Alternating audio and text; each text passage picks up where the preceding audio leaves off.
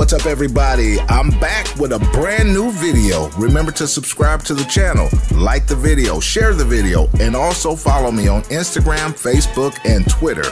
Okay, we are now recording this phone conversation, which is about to a testimonial.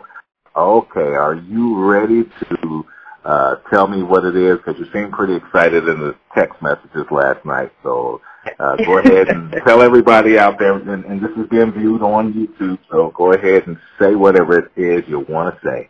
All right. Well, last was it last year or I think it was November, probably November. We were about to do some trade line for my fiance, and we were so excited. Oh my God! I did all my research. I stalked this man for like eight months. all his videos, all the recommendations, everything that he ever put out there I had done it. And then, and so it was time to put the trade lines on. And then right when we were about to make the deposit into the bank to pay for the trade line, my fiance got flagged for some old background report that he had. Quite frankly, he didn't even know that he had that much child support. He, he wasn't really sure about what the ramifications were. It was just like wham out of nowhere. And I think what happened was like um he he wasn't using his credit for many years. Everything was paid in cash, whatever. And then he got credit history as of like, I would say late August or July last year. And then he got a credit card in like September. So I think that's what kind of like, oh, you're back in business now. So they flagged him. So I got his credit all the way up to like six, uh, sixty-seven. Um, and it went down to like 540. like wow. it was gone. It, he lost everything that I built. And then so I was like, oh my God, what are we going to do? I called Eric. I said, oh my God, he got this flag on his um uh credit report. Eric was like, don't you dare touch the trade line. Don't go near a trade line. Nope, nope, nope, nope, nope, nope, nope. You got to start from scratch. We got to take this off before you even bother with the trade line. So I'm so what, so what you're saying is that I I wouldn't sell your trade line, correct? Yep. No, he refused. He said, "Listen, I'm not even going to take y'all's money. You know, in good conscience, I could never take y'all's money for a trade line, knowing good and well that it's not going to do nothing with a flag to support on your credit report." And after you said that, Eric, I googled like can you like get credit cards and stuff with like a uh, possible flag on your credit? All these outlets, Chase Bank, um, Capital One, they will not even come anywhere near you. So forget, you know, it's one thing what Eric is saying, like you're not getting anything from no bank, nowhere, not even a car loan, because we were going to get the car. None of that was happening with, with a flag for child support on your credit. So Eric said, let's start from scratch. We're going to dispute with, with my people. And I was like, okay. And he said, I'll, I'm going to, what did you say the phrase was? Oh, I'm going to fix your husband so good. And I was like, oh my God, God is good.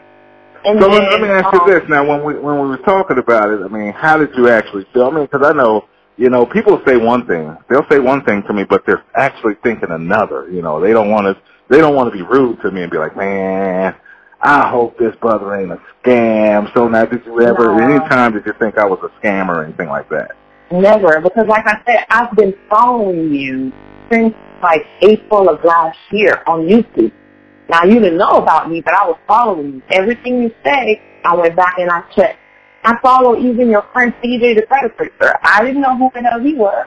I just whoever got anything to say, I looked it up.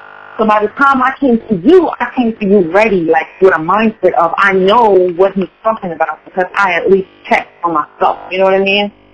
And right. I don't know how these people on Google be knowing me looking for trade lines, but anytime I Google trade lines, these random people got my phone number and started calling me. I was ignoring the phone. It's not me like, that gave it out. No, for real. I was like, what, what, what's happening? I didn't, I didn't leave my number on their website or anything. And then what I started to do was I was like, you know what?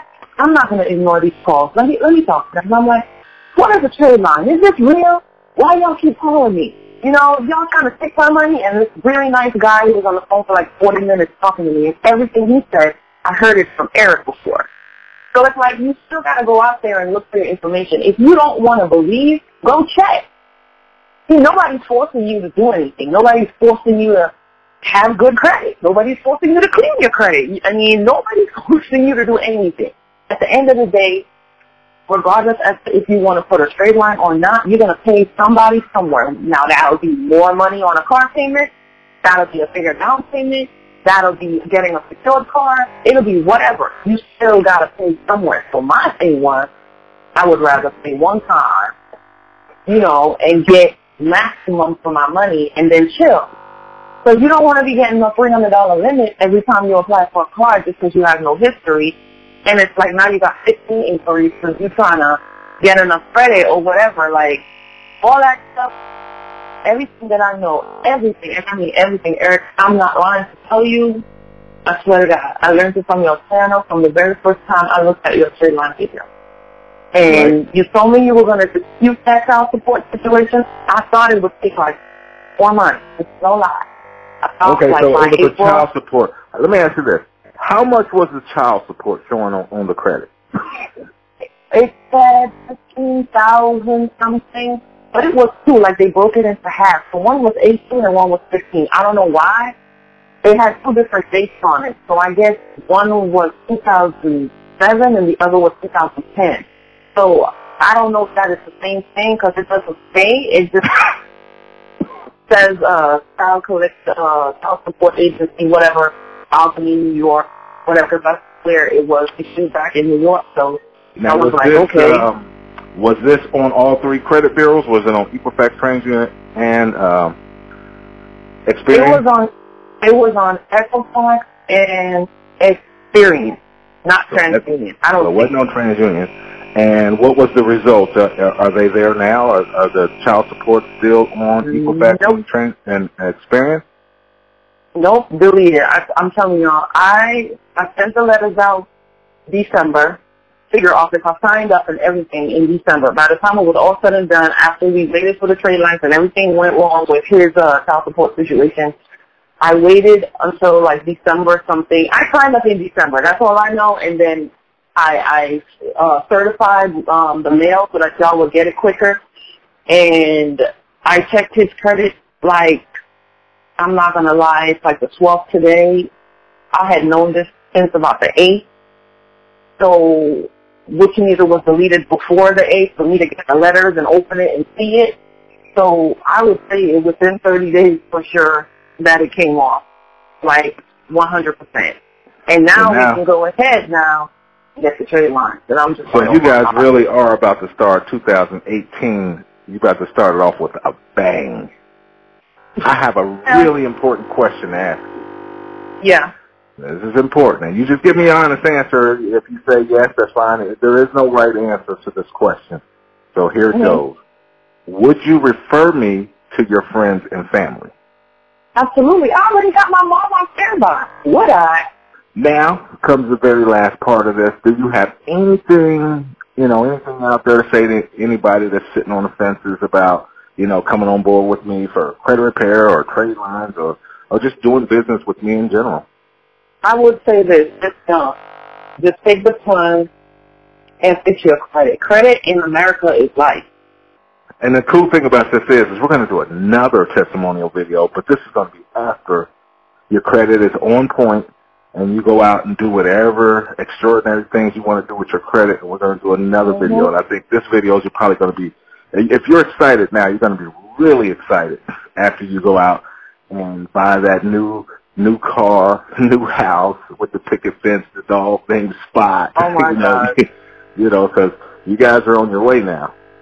Wait one second, guys. I want to tell you how you can maximize your ability to get credit cards and loans. You already know too many inquiries can stop you from receiving credit cards and loans. But what if I told you you could have those inquiries removed in three to six weeks? Would that be something you'd be interested in? One inquiry could be worth as much as $20,000. So you can see the importance in having them removed. If you would like to know more information about our inquiry removal service, give us a call at 239 234 3040 and I'll be happy to answer any questions you may have. All right, guys, that's it. I'm out again. Peace.